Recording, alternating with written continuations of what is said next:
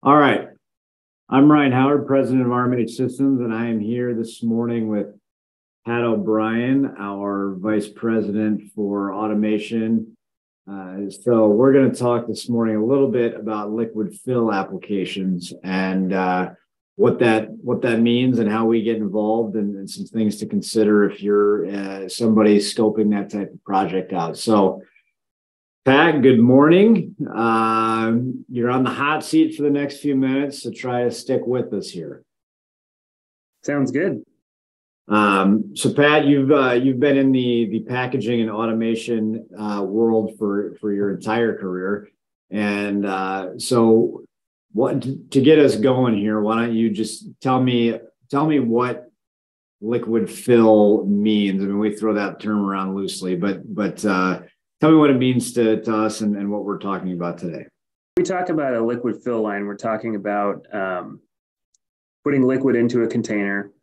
And uh, the broader scro- scope of what we do includes the, the filling of the, of the bottle and the capping and the packaging, the secondary packaging, putting it into a case, taking that case, putting it onto a pallet. And then also the, the equipment before that that actually lines up the bottles to get filled.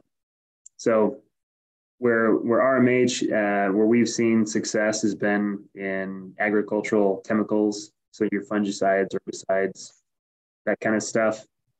And we've also done um, some some projects in food and bev, and those obviously have a different set of constraints and, and rates and that kind of stuff. So uh, maybe just to to give some some meat to what we're able to speak to, what RMH's experience in this space, you know, how long we've we been doing it? Uh, maybe give a little bit of, of background on that end of things. Um, it's kind of funny. So I I joined RMH uh, about I think 11 years ago, somewhere around there.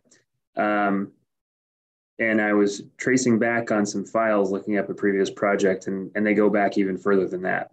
So obviously, we don't throw anything away, but we do have a, a history of at least 12 years of projects that I've found um, that we have prints on and, and retain those records.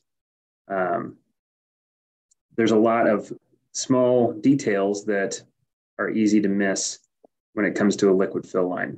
You know, some of that's just product orientation as it goes into a particular piece of equipment, or just um, considerations when it comes to how you're going to handle that product. Um, and what the constraints are. You know, if you have an expensive product, you're very concerned about the giveaway. So you don't want to give away even a, a tenth of an ounce.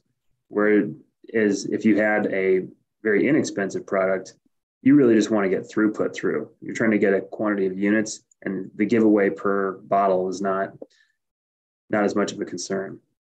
Yeah. So um, you, you kind of started touching on that, but RMH has over those, you know, 10, 12, 15 years really developed a niche in this space, completed a lot of these projects across the country.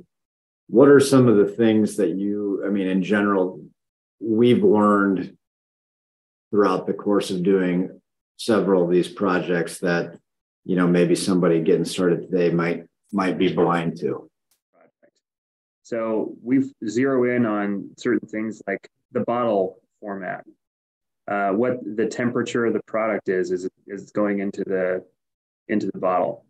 Is it is it hot? Is the wall of the bottle flimsy that it's going to expand as it goes through the tooling for the filler for the capper?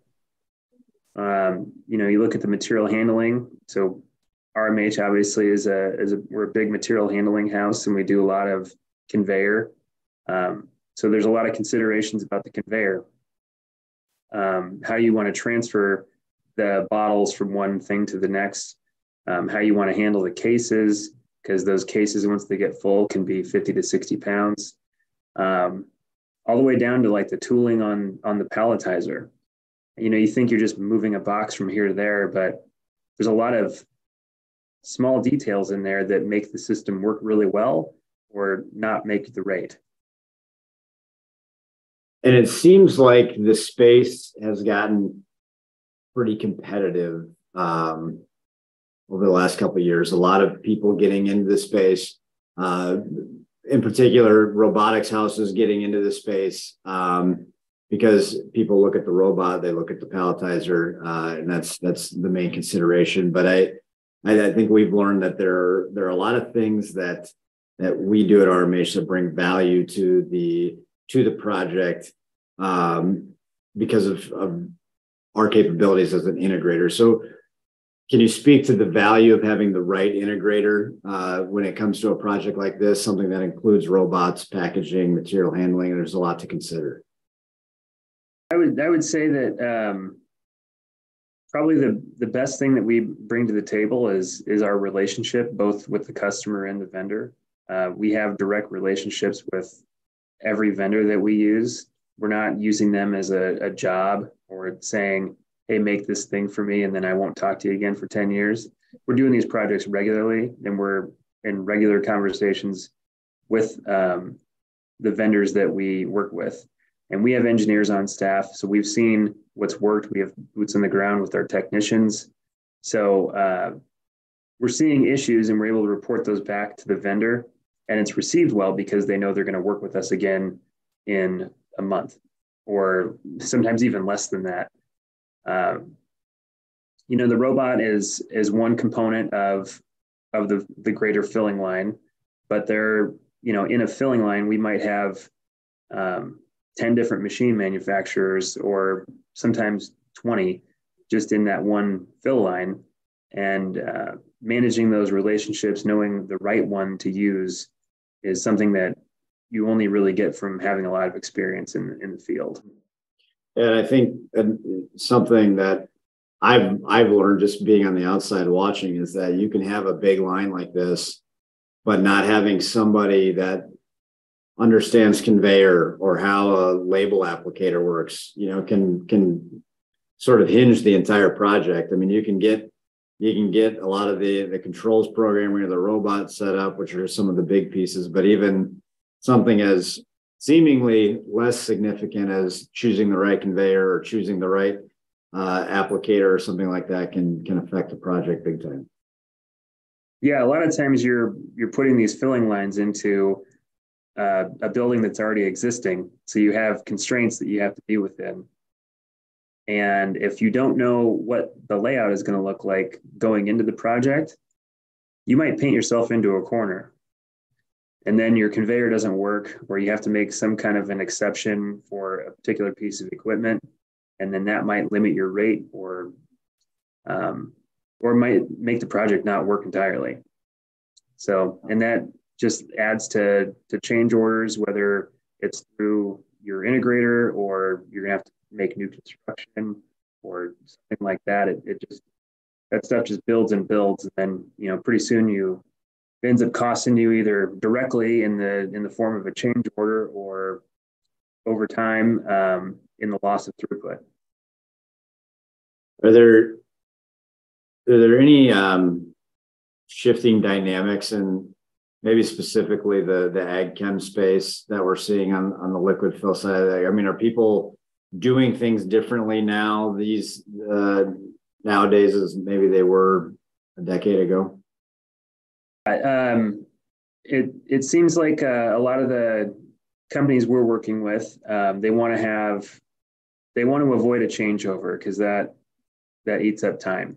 So we've had some companies that they're actually using two separate fillers on the same line. So they're able to reuse all the equipment while they're batching one set, uh, one lot of chemical, they can be packaging the other.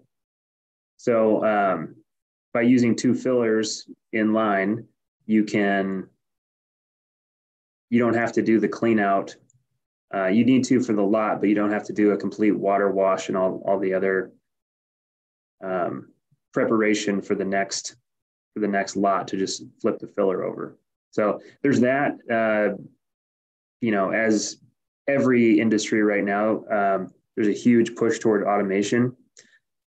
Uh, we had some customers that were okay using the Gorbel Easy Lift to palletize before that they're they're getting into a palletizer now that you wouldn't have expected them to do that. Uh, the rate might be lower but they want to use that operator to to get off of doing a manual labor task and actually running a line. Yeah, and I, I think specifically in the Midwest here where we are, the, the, the labor constraints have been a big issue. So that's, that's sort of an important priority right now.